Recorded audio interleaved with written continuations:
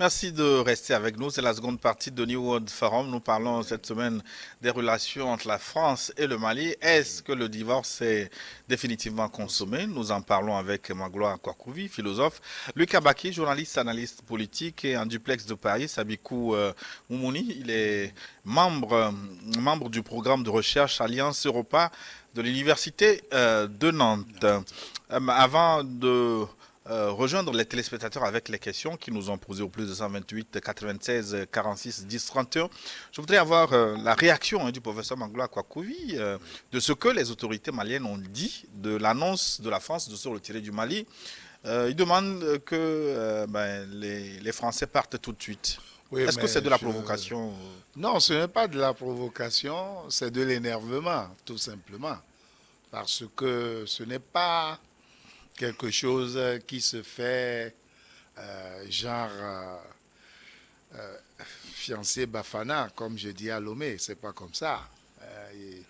il y a toute une logistique à terre, dans l'air, il y a beaucoup, beaucoup d'interconnexions géosatellitaires et tout ça qu'ils emploient. Et ça ne peut pas se passer à... C'est pour ça que je doutais de ce qu'ils donnent comme cours à nos militaires dans leur académie militaire. On a l'impression que, euh, de la même manière qu'il y a un ENA pour étrangers en France, il doit avoir des cours pour euh, militaires étrangers hors de l'Afrique, quoi. Ce n'est pas possible. Parce que ce n'est pas une armée qui, qui, se déplace. Vous avez vu comment Pouskine est arrivé avec 15 000 hommes, des chars d'assaut, tout ça. Ce n'est pas une affaire d'une journée. Donc je crois que euh, nos frères manquent de réalisme. Légitimité, d'accord. Légalité, d'accord.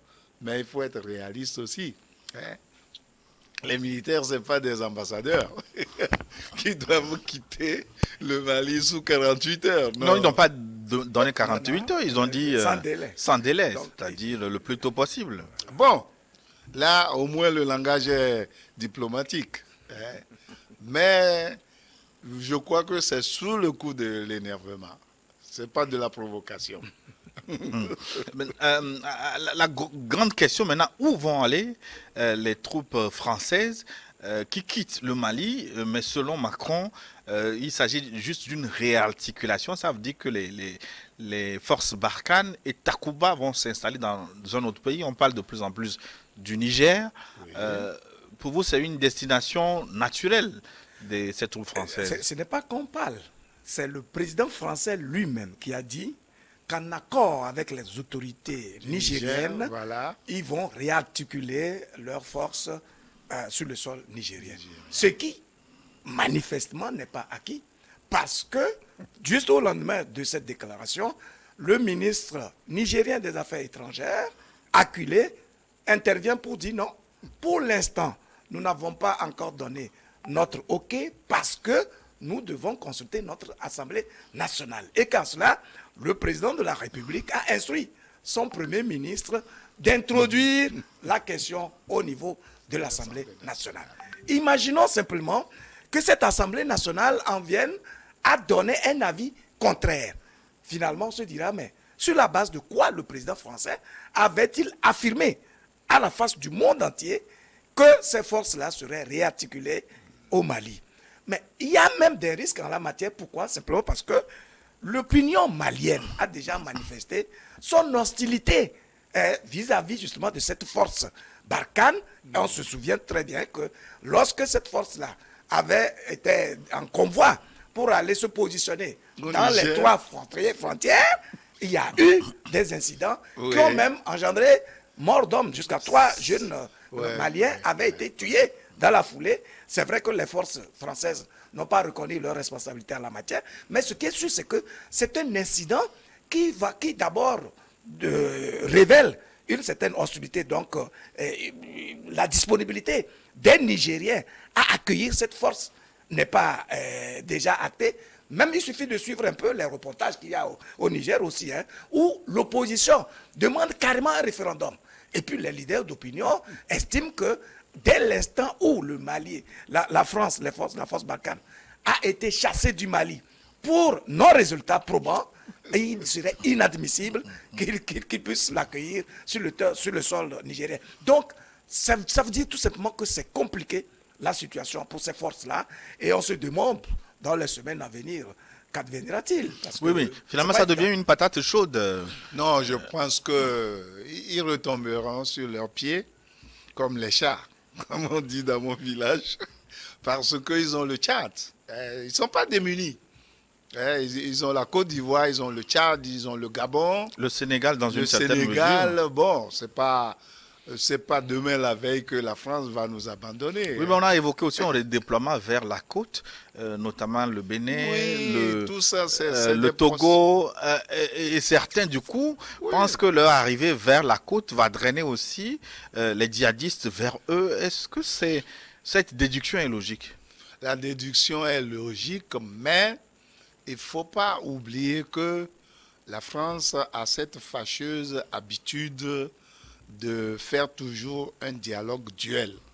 Je me rappelle que lorsque nous étions jeunes étudiants, nous avions appris que pendant la guerre des six jours, elle livrait Israël soit dans la journée et les Arabes le soir, ou vice-versa. C'est-à-dire que la même France vendait des armes aux Arabes et vendait des armes à Israël. Donc, euh, un pays que l'on connaît de longue date comme ça, pour euh, son langage euh, duel, on doit s'en méfier. Mais ne vous en faites pas. Quand ils ont dit qu'ils ne vont pas quitter le Sahel, ils ne quitteront pas. Ils finiront par trouver un pied à terre. Oui, mais la société civile et les activistes sont de plus en plus bouillants. Oh, on l'a vu hein, à travers le passage donc on voit français. Non, non, non, nous savons comment, avec les complicités nationales, on désamorce tout ça. Vous avez dit tout à l'heure que la France n'a pas évalué la perte des trois petits Nigériens. Euh, donc, euh, ne vous en faites pas. Euh, ce problème de géopolitique, de grandes, de moyennes et de petites puissances, il n'y a que les BRICS qui sont en train de les gêner. Mais nous, on est à la périphérie, ce n'est pas le centre. Entre le G8 et le G20, pour l'Afrique, euh, je regrette pour nous, mais pour l'instant, ce n'est pas un casse-tête euh, chinois. Hum. ils vont trouver pied à terre. Euh, vous verrez. Oui, mais justement, ces conflits-là, cette difficulté-là montre que, en réalité, le problème de la France n'est pas de venir défendre les, États africains contre le djihadisme. Non, non, pas voilà, du tout. Voilà, parce qu'à partir de l'instant où il y a une hostilité manifeste et les, les chefs d'État eux-mêmes hésitent à les accepter, de fait, ça veut dire qu'il y a un anguille sous roche. Oui, mais est-ce qu'il y a une hésitation vraiment? La question que moi je voudrais trouver, est-ce qu'il n'y a pas une forme d'infantilisation aussi de nos forces armées? Le fait que les gouvernements soient euh, obligés de recourir tout le temps à des forces étrangères pour pouvoir défendre le terrorisme au Niger, euh, qui dit oui, la Côte d'Ivoire, à travers Ouattara, qui dit moi je prends à cœur joie. Est-ce que ce n'est pas une forme euh, d'infantilisation de, nos forces armées? Mais c'est évident. La preuve en est qu'au Mali, aujourd'hui, la force, les, les, femmes, hein, sont en train de s'affirmer et il y a une fierté nationale. Non seulement il y a cette fierté-là, mais aussi ils sont en train d'atteindre des résultats qui sont évidents. Ce qui veut dire quoi? Que tout simplement, il faut qu'on commence à faire confiance à nos armées. En réalité, le rôle de la France était au-delà justement de, euh, de, l'appui aérien, tout ça, de la formation et en même temps de l'équipement, etc. Voilà. Donc ça devrait, la vocation était de renforcer au fil du temps les capacités opérationnelles des militaires maliens, mm. ce qui n'a pas été le cas au bout de 9 ans. Et voilà pourquoi il y a une révolte qui est légitime et logique. Euh, au moment où la force euh, française arrivait au Mali, les, troupes maliennes se comptaient à environ 10 000 personnes. Aujourd'hui, avec la nouvelle, les nouvelles autorités, ils ont recruté et le nombre est allé jusqu'à 40 000 avec des équipements qui Et ils disent avoir équipé l'armée euh, en un an plus que ce que les autres ont fait en, 20 ans. Voilà, c'est ça. Donc, ça veut dire que c'est une question de pragmatisme, de volonté et de vision politique. Voilà pourquoi moi, de fait, j'accepte les actes que les, autorités maliennes sont en train de poser aujourd'hui parce qu'ils donnent la preuve d'abord d'être patriotes et en même temps de disposer d'une vision et qui vise un résultat clair en faveur du peuple lui-même. Donc à partir de ce moment-là, moi je pense qu'il n'y a plus de débat, parce que le reste n'est que de la rhétorique. on va commencer par répondre aux téléspectateurs. 92 65 58, 92 65 58. Bonsoir et merci aux panélistes, euh, et à vous Gilles et à votre chaîne pour vos forats, Regards croisés et d'autres. Je voudrais remercier certains de vos invités qui ont le franc-parler euh, notamment Luc Abaki, euh, Francisco Napokura, on peut même ajouter le professeur Makwakuvi. Je les adore. Je voudrais aussi vous solliciter de vous intéresser davantage aux thèmes euh, togolais tels que l'éducation, la santé, l'administration, le chômage, la progression de la pauvreté et leur temps réservé. À vous pour l'information, la formation des Africains en général et en particulier nous les Togolais que nous bénissent et que Dieu nous bénisse et nous donne la longévité. Merci. C'est l'arrêt qui nous écrit depuis Dapan. L'arrêt, euh, Luc, qui vous félicite pour votre franc-parler. Merci beaucoup. En tout cas, on fait du bien qu'on peut. Hmm. Euh, vous pouvez continuer par nous écrire. Euh, Justin de Tchévier, qu'est-ce qu'il nous dit 93 36 32 82 pardon 96 36 82 Justin de Tchévier, bonjour le plateau New Je suis très déçu par les propos de M. Moumouni qui affirme que la France a raison de rompre le contrat militaire de façon unilatérale. Est-ce que le contrat est signé par la France seule? M. Moumouni Combien de temps voulez-vous pour la France avant de chasser les terroristes au Mali? La France et son Premier ministre traitent le gouvernement malien actuel d'illégal. Est-ce qu'en Afrique actuellement, le Mali est le seul pays à avoir un gouvernement illégal? La France a abîmé la Libye il y a de cela 11 ans. Pourquoi depuis ce temps la France et l'Union africaine n'arrivent pas à installer un gouvernement légal avant de demander la même chose au Mali? Justin de Chevier, professeur Magloire oui, voilà le quiproquo euh, français. Et bon, si vous leur donnez la parole, ils vont vous justifier cela. Ils vont vous justifier cela parce que au plus fort de, ces enjeux géopolitiques, il y a ce que Anna Arendt appelle du mensonge à la violence. Parce que quand on pense à l'Irak, Hein, et comment on a dit que il y avait des armes, d'extrusion massive, etc. Donc, euh, c'est des gens qui sont passés maîtres dans la manipulation. Euh, leur seul tendon d'Achille actuellement, c'est que il y a de nouveaux arrivants qui sont aussi performants. J'ai entendu parler du drone turc qui est très performant. et, quand je pense que les Turcs sont déjà sous les cocotiers et les baobabs, donc il faut que la France euh, revoie ses copies. Non, ce que moi je déplore, c'est que après plus d'un demi-siècle d'indépendance et de coopération, le transfert de technologie tarde. C'est tout ce que moi je déplore. À, qui la faute? Euh, à ceux qui doivent transférer les technologies. Aux deux parties, parce que quand vous ne demandez pas, on ne peut pas vous donner. Ça, c'est du Matthieu 7.7. Demandez, on vous donnera. Et je ne sais pas si c'est par ignorance ou bien c'est par calcul ou par intérêt, parce que personnellement, moi, je ne comprends pas que parmi tous ces amis anciens, nouveaux, futurs, personne nous ait enseigné à fabriquer ne fût-ce que les aiguilles et les allumettes. Personne. Hmm. Nous servons tout le temps de marché, de champ, d'expérimentation et de tout. Hein. Hmm. Et euh, puis, il y a quelque chose que je voudrais ajouter. Qui est-ce qui empêche le Mali, le Burkina, le Niger de se mettre ensemble pour combattre les djihadistes? Et c'est les Européens qui doivent venir. C'est ça qu'ils ont tenté un peu de faire dans le G5 Sahel. Pas que ça, même la CDAO elle-même, elle a quelle vocation? Voilà. Normalement, ils auraient dû mutualiser leurs forces pour pouvoir euh, endiguer les problèmes. Bien sûr. Et puis, il faut, il faut constater une chose. Hein. Tous les coups d'État, en tout cas cette instabilité, la précarité, la pauvreté, n'a lieu en réalité que dans les pays francophones. Francophones, statistiquement. Ça veut dire qui a un problème avec la France elle-même. Mm. Voyez-vous? Il y a eu une tentative de coup d'État en Guinée-Bissau la dernière fois. Mais la, Guinée-Bissau n'est pas un pays francophone. Hein? Non, oui, oui, c'est voilà. Exactement. Et puis les raisons là-bas, c'est des cartels de drogue, etc. Voilà, c'est un narco Mais mieux, comme quand euh, notre frère Moumouni disait tout à l'heure que oui, la France, avec sous Macron, a essayé de libéraliser. Mais je dis c'est faux. faux.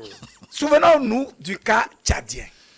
C'est Macron qui est allé installer, introniser, adouber hmm. le fils de Déby au mépris de toutes les lois constitutionnelles régissant la vie de ce pays-là. Donc on ne peut pas nous dire, la France n'a aucune possibilité aujourd'hui de se défaire de ses relations pécamineuses avec la France, elle, avec l'Afrique francophone, pour la simple raison qu'elle tire profit des divisions qu'il y a dans le pays, de l'instabilité et de l'incapacité euh, des dirigeants à se montrer visionnaires et à agir en faveur de leur peuple. Parce que avoir des, euh, des pouvoirs légitimes dans l'espace francophone veut dire que tout de suite, ceux-ci seront, euh, si vous voulez, adoubés par leur peuple. Il y aura une vision qui va, qui va naître. Et du coup, lorsque vous êtes épanoui, vous vous foutez justement de, de, de l'action titulaire hein, de la puissance d'hier. plus regardant. Voilà, donc l'épanouissement en lui-même est un problème, mm. sera un frein à la présence euh, euh, de, de, la, de, la, France. Des forces occidentales en, Afrique. Est-ce que nous avons toujours Moumouni en duplex de Paris Il y a beaucoup de questions qui lui sont envoyées à la figure. 91, 94. 02 91 84 02 Sadikou, euh, trouve-t-il normal que la France prenne plus de 9 ans sans pouvoir résoudre le problème de djihadisme au, Mali?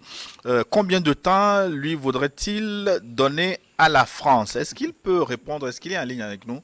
Euh, Moumouni? Je suis en ligne avec vous. Oui.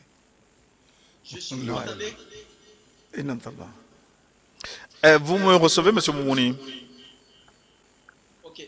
Euh, alors, est-ce que je trouve normal que la France mette 9, euh, plus de 9 ans pour résoudre le problème malien?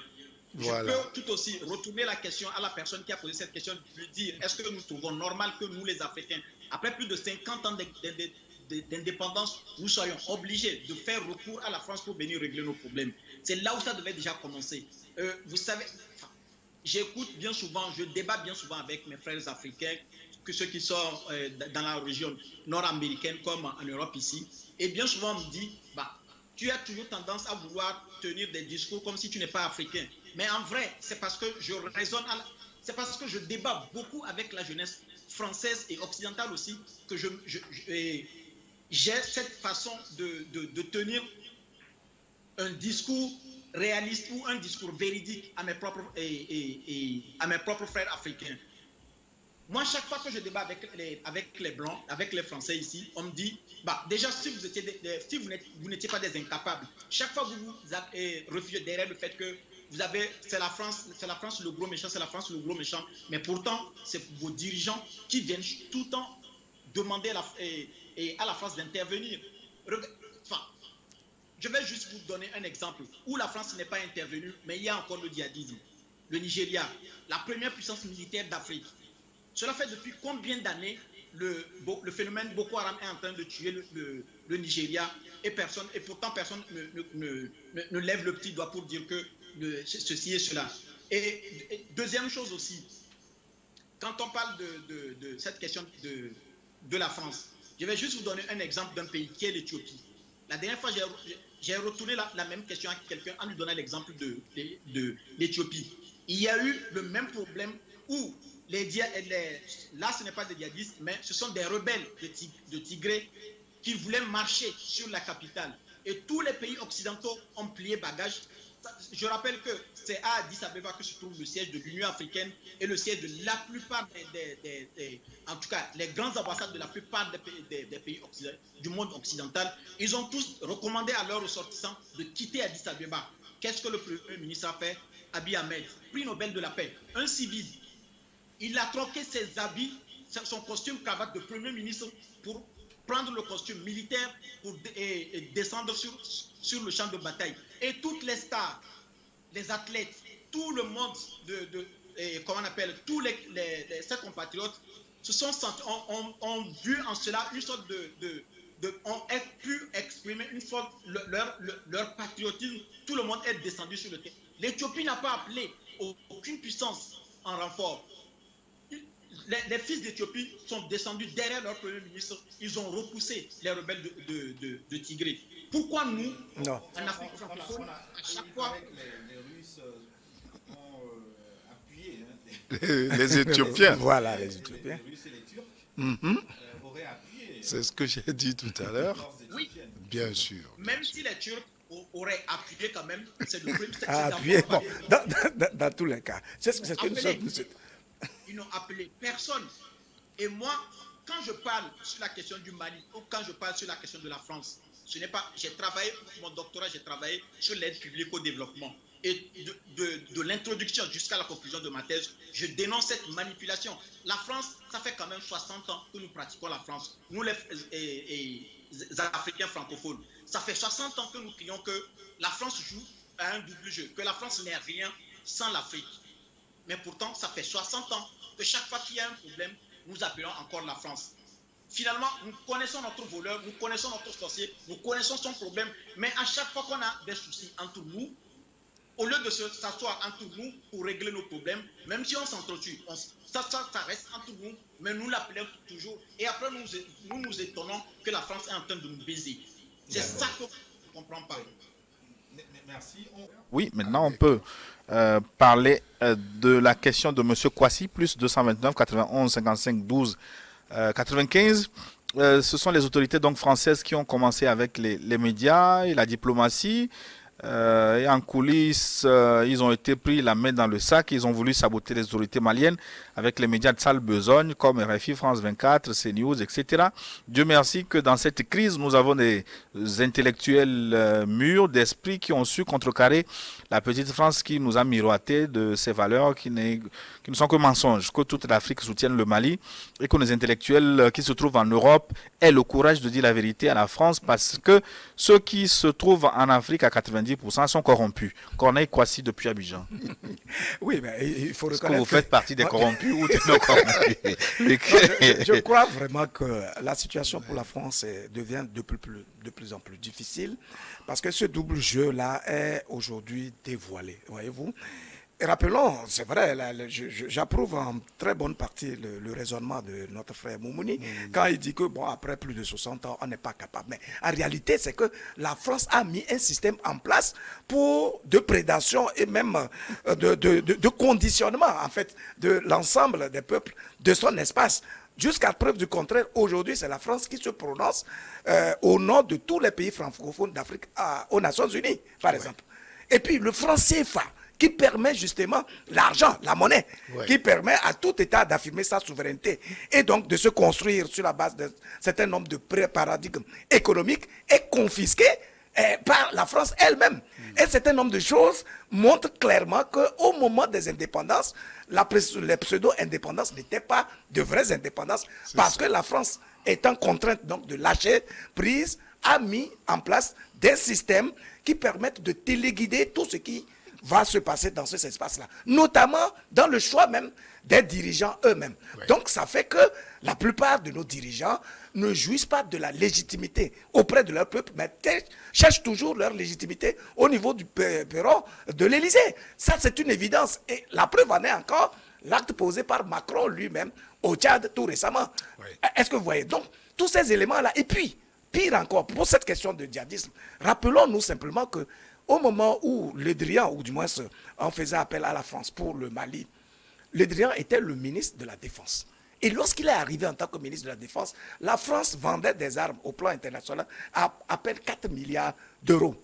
Mais sous lui, il a multiplié ce chiffre-là par 4, jusqu'à 16 milliards d'euros. Ah, on vend ces armes-là à qui? À l'Arabie Saoudite, au Qatar, etc. Des arrière-plans qui nourrissent justement le djihadisme dans nos pays. Mais pourquoi et on dit que son fils Thomas est un eh ben, courtier. Ben, voilà, justement.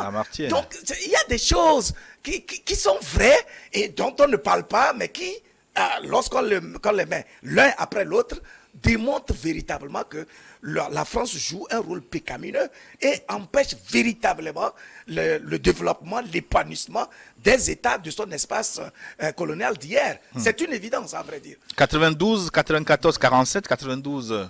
94 47. Bonjour New World. Je voudrais d'abord dire merci aux invités et rappeler à M. Moumouni qui ne cesse de clamer euh, que le président Macron est le seul à faire avancer les relations France-Afrique, qu'il fait une analyse erronée de la situation. Moi, je dis plutôt le temps. Il, est, il était temps pour que n'importe quel président élu en France écoute les aspirations de la jeunesse africaine.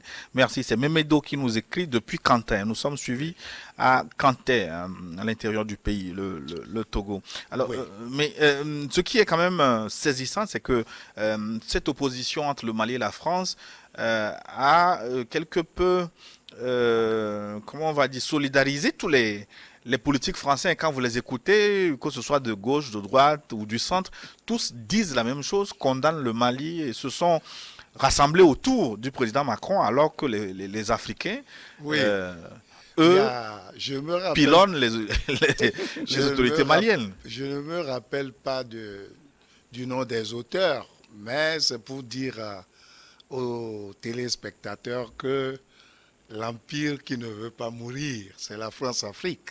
Il faut, pas, il faut écouter les Français eux-mêmes sur la France.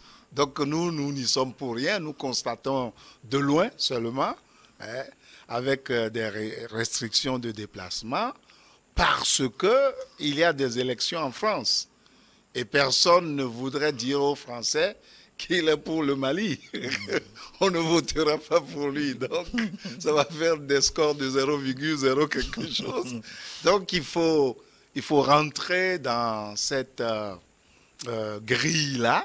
Et ce qui fait que, bon, eh, au deuxième tour, il y aura la clarification, mais pas au premier tour. Eh, il y a des hommes, il y a des femmes qui disent ce qu'ils peuvent dire. Personne ne dit que la France n'a pas besoin de l'Afrique. Je n'ai pas encore entendu cela. 91 62 16, 91 62 16, c'est notre fidèle Richard Tagbat de Cara. Il a deux questions pour vous. Y a-t-il des accords véritables et légaux entre la France et le Mali? Prévoyant les forces militaires françaises au, Mali. Deuxième question, pourquoi la France résiste-t-elle à quitter un pays qui refuse son aide si sa présence dans ce pays n'est motivée par des gains et des exploitations substantielle des richesses minières soit-elle de ce pays, Luc? Eh ben, Lui, il a déjà répondu à la, deuxième question, il l'a posée, il a, répondu. Oui, il y a eu des accords. Et justement, c'est là où il y a un problème. Parce qu'en fait, la lettre qui a été envoyée à la France en 2012 pour euh, demander l'apport ou l'appui de la France demandait simplement un appui aérien et en renseignement. Mais la France a trouvé le moyen de, de faire débarquer des forces euh, au sol. Pourquoi? Ça veut dire que euh, ben, ils ont compris qu'au-delà de ce, de ce simple appui aérien et en renseignement, ils n'auraient pas euh, les moyens, voyez-vous, d'agir sur le terrain, éventuellement en lien avec leur objectif peut-être caché. Hmm. Mais on peut se dire, OK, ils ont tellement vu les forces maliennes aussi frêles et incapables qu'ils se sont dit non, c'est peut-être par pudeur ou par euh, mesure qu'ils nous ont demandé cela. Bon, on va faire plus. OK, si vous l'avez fait, ok, on vous dit merci. Mais quand il n'y a pas les résultats probants, il faut bien qu'on tire la conclusion. C'est là où, justement, sa deuxième question est toute pertinente parce que si ce n'était que pour euh, défendre la cause des Maliens, dès lors que ceux qui les ont appelés leur disent, bon, franchement, c'est bon, vous avez fait de votre mieux, euh, nous vous sommes reconnaissants, mais je crois qu'on peut changer euh, le cadre de collaboration. Ça devait aller de soi. Mais si ça ne va pas de soi, ça veut dire qu'il y a quelque chose en arrière-plan qui est visé justement par la France et il va falloir le démontrer. Je crois que euh, dans cette affaire-là, il n'y a pas beaucoup de démonstrations pertinentes à faire.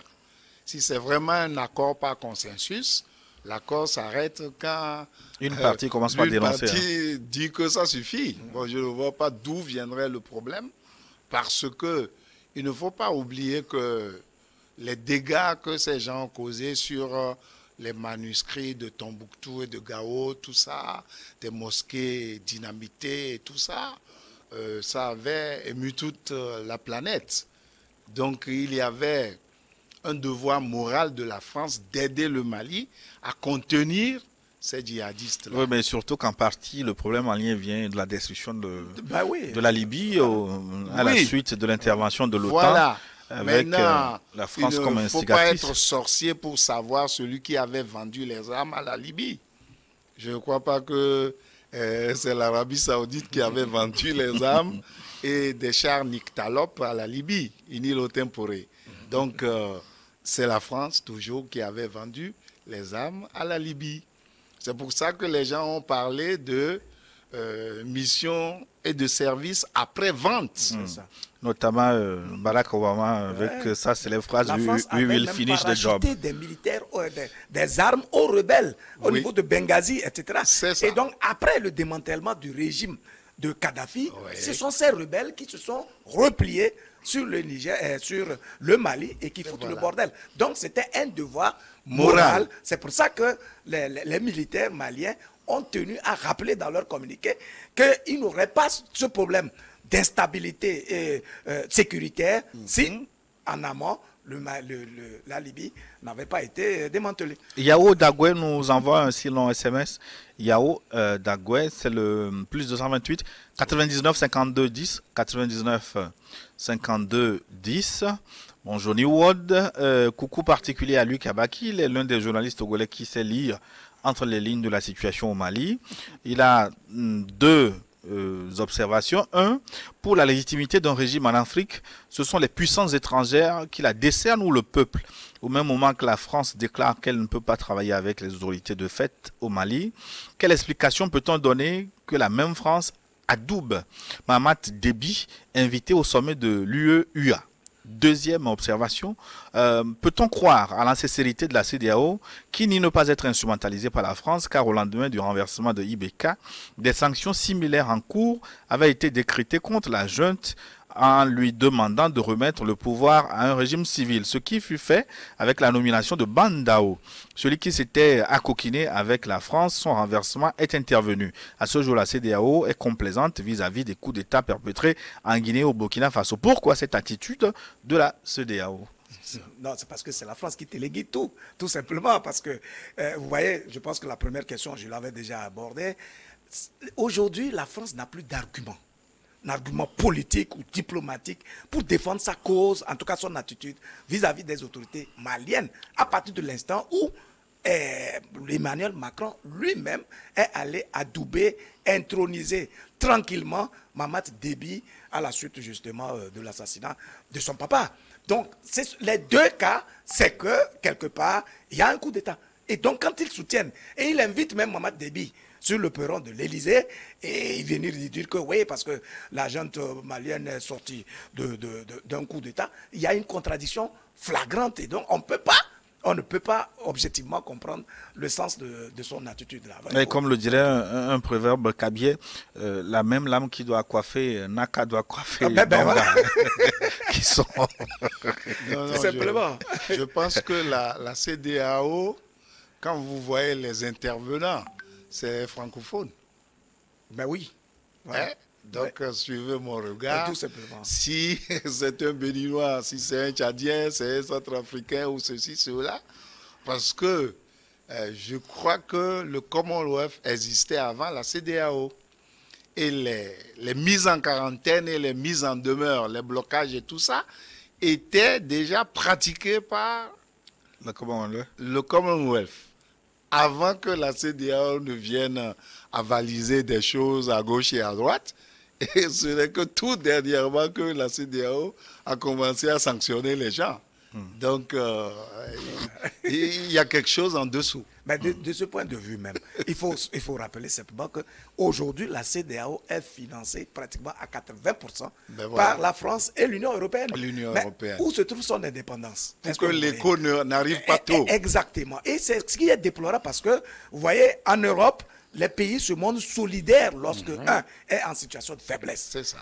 Contre, en Afrique et notamment dans l'espace CDAO, on constate que ce sont les frères même qui lancent des flèches à leur voilà, à la victime. Alors qu'ils auraient dû mutualiser leurs forces pour résoudre ce problème-là. Oui, ce que semble vous dire tout à tas depuis Noachin, euh, Merci et bon courage à votre invité en blanc. Félicitations à la junte et au peuple malien que les autres peuples emboîtent euh, les pas aux autorités maliennes que de mettre les bâtons dans leurs roues pour la libération du jour français. Absolument. Donc je crois qu'il va de soi. La CDAO ne peut pas faire de leçons aujourd'hui au peuple malien, d'autant plus qu'elle-même s'est montrée tout suffisamment fragile. Et puis en plus de 40 ans d'existence, elle n'a même pas réussi à mettre en œuvre, elle, son programme, sa vision et sa vocation, qui est justement d'œuvrer pour l'épanouissement des peuples, faire en sorte que des États solides se construisent et qu'ils favorisent la libération, le, libre circulation, la libre circulation des personnes et des biens, etc. etc. Et donc, toutes ces faiblesses-là montrent clairement que la CDAO ne s'appartient pas en tant qu'entité et elle ne peut pas s'assumer par elle-même euh, en marge justement des interventions de, pays européens. Une question à M. Moumouni, 92 52 62. 92 52 62. Bonsoir le plateau, New World. J'ai une question à poser à M. Moumouni. Quand l'armée française était au Mali, il y a eu des attaques meurtrières, attentats, des bombes, euh, des assassinats, exécutions sommaires dans le Mali. Et quand euh, l'armée française vient d'arriver au Burkina Faso, les djihadistes aussi ont commencé à venir au Burkina avec les mêmes méthodes euh, et ces pays frontaliers. Alors, sa question, les djihadistes travaillent-ils ensemble avec l'armée française ou comment Giro a aussi depuis puis Togblekopé. Monsieur Moumouni euh, Oui, euh, alors, avant même de répondre à cette question, bon, je ne sais pas si je peux dire ça comme une question, mais dans tous les cas, avant de répondre à cette question, j'aimerais quand même apporter une précision, un éclaircissement par rapport à ce qui se dit depuis quelques minutes euh, sur le plateau par rapport à, à, ma phrase comme quoi, depuis l'avènement de Macron, les choses essaient de changer par rapport à la France-Afrique. Je ne dis pas que Macron fait sciemment pour changer la France-Afrique ou bien que Macron apporte une détente dans ce qui se passe. Mais je dis juste que de par l'exercice du pouvoir qu'il a, de par aussi bien sur le plan interne français, tout comme dans les relations internationales, il y a une brèche qui s'est ouverte et qui permet aujourd'hui, parce que de, de, enfin, il est largement plus plus âgé que moi. Moi, je suis dans la trentaine. Mais il n'en reste pas moins que Macron, on va dire que c'est quelqu'un qui est de notre génération. Et de tous les chefs France que la France a connus, au tout début de sa carrière, il a fait une bonne partie de, de, sa carrière en Afrique de l'Ouest, justement au Nigeria.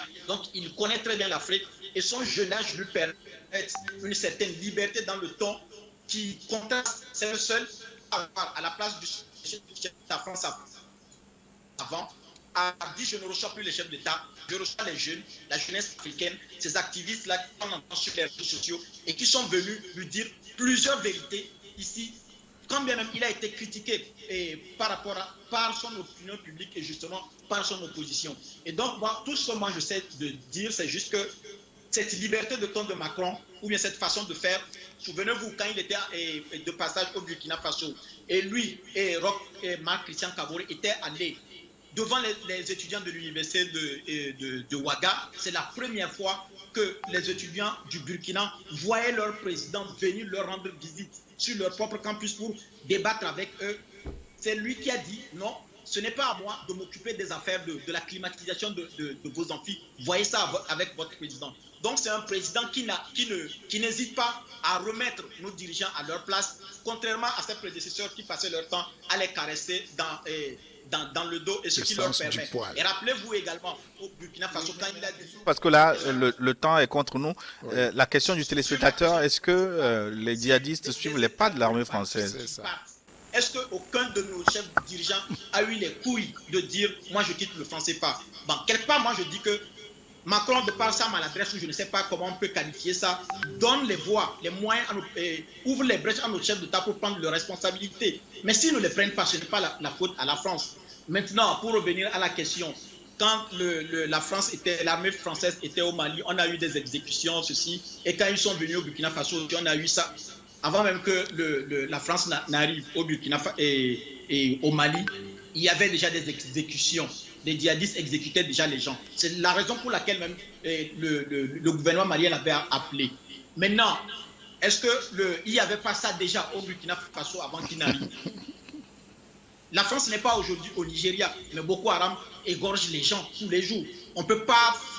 Euh, en tout cas, moi, je, ne souscris pas à ce discours qui est complotiste, qui tend à faire des, comment on appelle, des raccourcis en liant des, faits à des choses qui n'ont rien à voir. Tant que je n'ai pas des preuves, tant que je n'ai pas, je ne sais pas moi, des choses pour étayer, parce que quelque part, là, on a une certaine responsabilité, nous, à qui vous accordez le, le, le, votre eh, espace médiatique pour parler, puisque ce n'est pas une personne, ce n'est pas deux personnes qui, qui, nous suivons, donc on a une certaine responsabilité dans ce que nous disons. Et donc, je ne peux pas accuser, et je rassure tout le monde, je n'ai pas de bourse du gouvernement français. Mon doctorat, je le fais entre deux pays. Et bizarrement, ce que j'ai comme bourse m'est donné par le Canada et je n'ai aucun, euh, aucun compte à rendre à la France. La preuve en est que chaque fois, il n'y a pas longtemps, j'ai débattu avec euh, Christian Taubira ici à Nantes.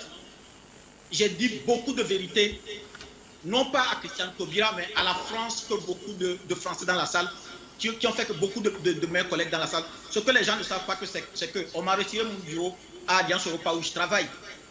D'accord. Nous avons euh, un téléspectateur qui apporte de l'eau à votre moulin 92, non 90, 72, 63. Oui, Monsieur Moumouni, je vais vous faire lire euh, euh, cet apport hein, d'un téléspectateur qui vous appuie, 90 72 63. bonjour le plateau, je suis en accord avec Monsieur Mouni.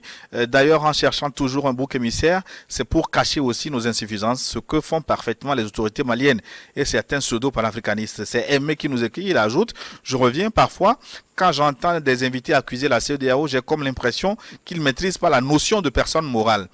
Comment voulez-vous qu'une personne morale réussisse sa mission quand les hommes physiques qui l'animent ne font rien. Le problème africain, euh, ce ne sont pas les, organisations, mais ce sont ces filles et fils qui, que, nous sommes. C'est une responsabilité partagée.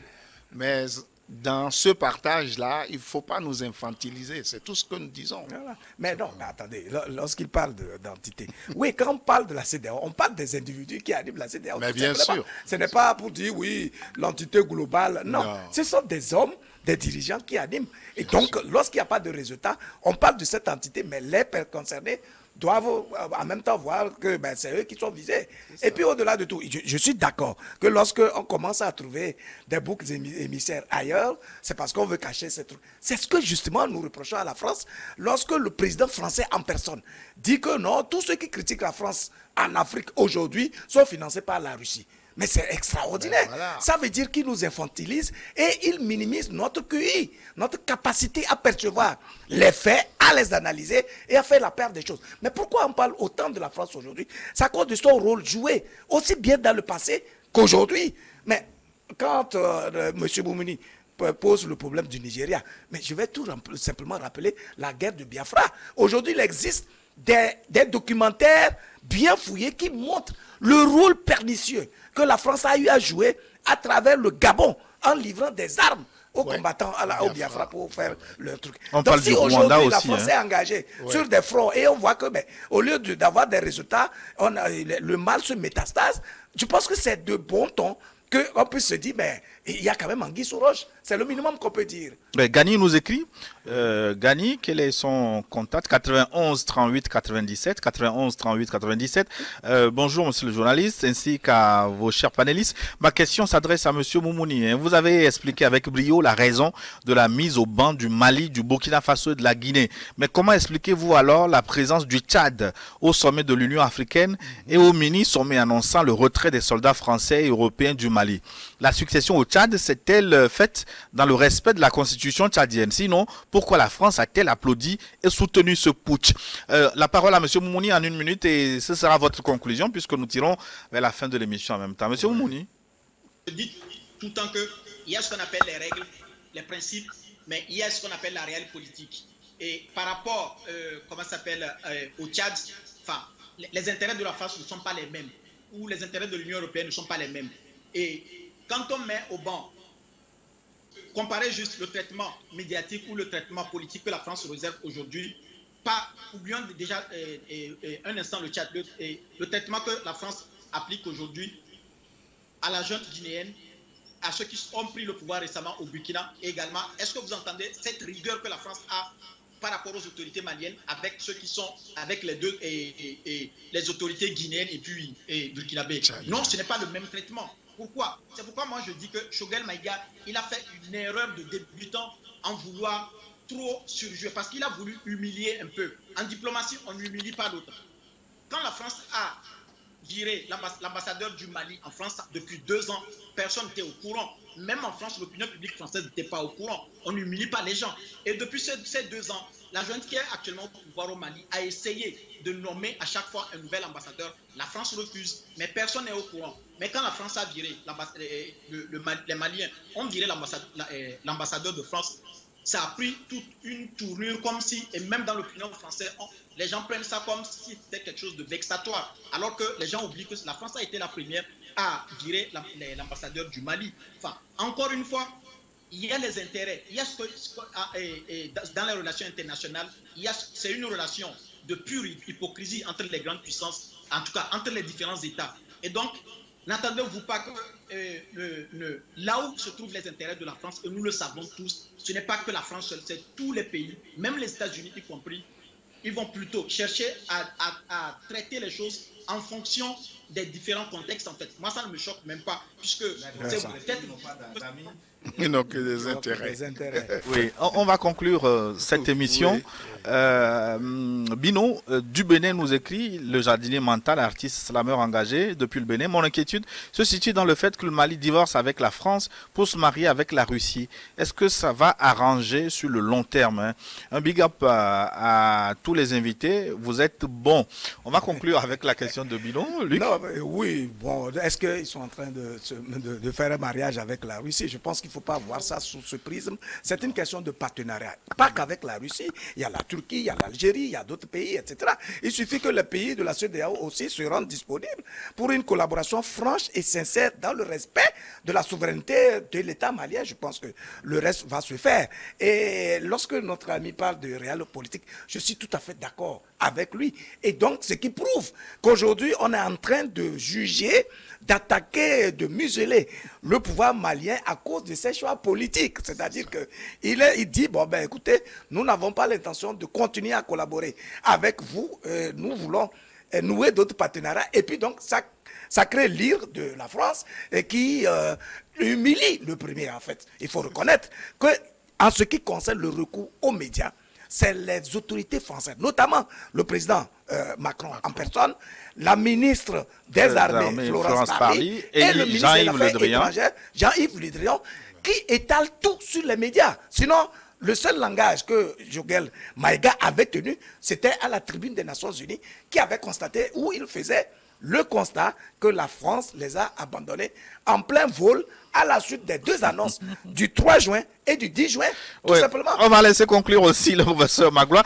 Moi, je pense que la France devrait amener Barkhane et Takouba en Libye pour aller euh, rétablir l'ordre dans le bordel qu'elle a sauvé. 96, 28, 13, 30 secondes, professeur. Non, non, non. Moi, je pense qu'il faut abandonner la philosophie du poisson hmm. et faire des Africains des pêcheurs. Voilà en concentré ce que je souhaite à l'Afrique. Merci, professeur Magloire Nous arrivons déjà à la fin de notre forum. Merci infiniment de votre aimable attention. Euh, à la caméra, Rebecca Vessou nous avait aidé. La diffusion était assurée par Samuel Lagnela. Euh, la technique coordonnée par Sylvain Tata Digui, qui était également du côté des réseaux sociaux. Réalisation Gildas Olivier Jamal Merci à tous. Dans un instant, une nouvelle édition du journal sur votre chaîne. À très bientôt.